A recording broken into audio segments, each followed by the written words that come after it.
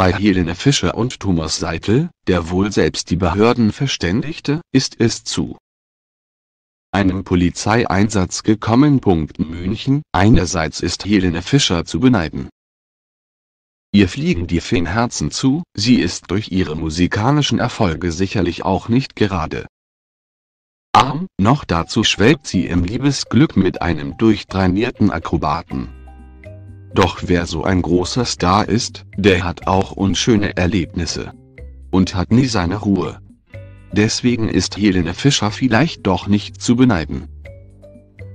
Helene Fischer und Thomas Seitel Polizei bestätigt Einsatz Ein besonders unschönes Erlebnis machten Helene Fischer und Thomas Seitel unlängst in Oberbayern.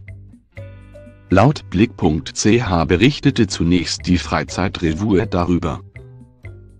Der örtliche Polizeichef Erich Schilling bestätigt nun der Iden Digital Zentralredaktion, dass es unlängst zu einem Polizeieinsatz wegen Helene Fischer und Thomas Seitel gekommen ist. Es versuchte wohl jemand, das Liebespaar in privaten Momenten zu fotografieren Video. Stalker-Drama bei Helene Fischer. Allzu viele Details will der Polizeichef nicht verraten. Wir sind verständigt worden, es wurde Anzeige aufgenommen, Kamera und Speicherkarte wurden sichergestellt. Alles weitere geht an die Staatsanwaltschaft Helene Fischer und Thomas Seitel. Wollte ein Stalker sie fotografieren? Um wen es sich beim Übeltäter handelte, will Schilling nicht nennen. In vorigen Berichten war von einem Rentner die Rede, was aber nicht bestätigt ist.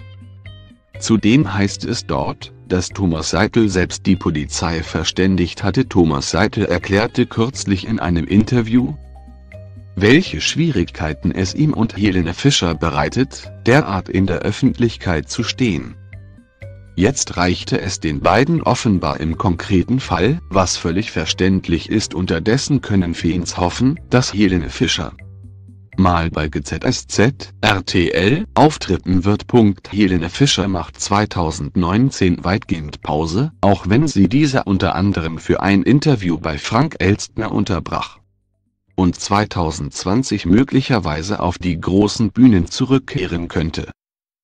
Bald jedenfalls gibt es ein exklusives Einzelkonzert von Helene Fischer. Genau wie Helene Fischer ging auch Maria Carey eine Beziehung mit einem ihrer Tänzer ein. Nun zeigt sie sich mit 49 Jahren im Bikini. Helene Fischer sorgte nun für einen kuriosen Moment vor Gericht. Weil der Angeklagte betrunken atemlos trällerte, zeigte sich die Richterin gnadenlos.